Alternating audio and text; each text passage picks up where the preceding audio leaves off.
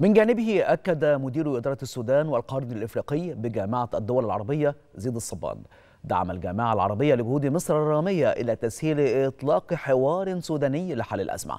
وقال صبان إن على النخب السودانية مسؤولية تاريخية تفرض عليها عدم إضاعة أي فرصة أو يد ممدودة لإطفاء الحريق وحقن الدماء.